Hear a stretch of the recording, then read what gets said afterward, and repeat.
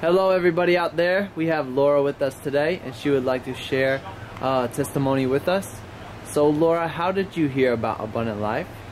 Well, I moved here from Corpus Christi, and I knew I needed an adjustment, and I just looked up online chiropractors Oh, in the woodlands, and I found something called Abundant Life, and I said, that's what I want. It's Right. Abundant Life, so I called and made an appointment. Okay, excellent. And were you experiencing any, did you have any symptoms, or how was your health before you started coming here? I had a lot of health issues, especially pain in most of my joints. I was taking Mhm. anti-inflammatories. I Okay. was I had gone to an interview and passed out Really?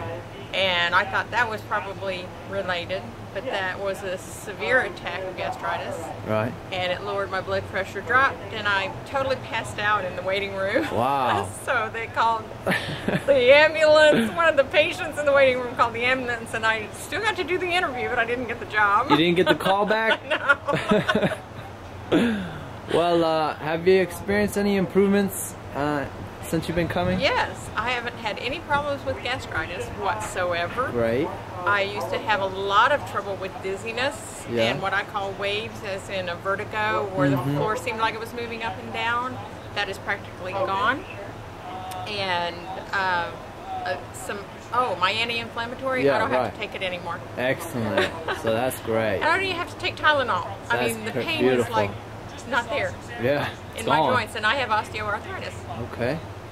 Well, um, Laura, what would you say to anyone who's watching? I would say you need to come see Dr. Zaino no matter whether you're feeling symptoms or Mm-hmm. Sure. not, because he'll tell you if something is on the horizon and you can get it fixed before you pass out in somebody's Right. waiting room. and then not get the job. That's right. And it, not only he'll tell you, but you'll, I mean, you'll see it for yourself. You'll see it. He'll show it to you. That's right.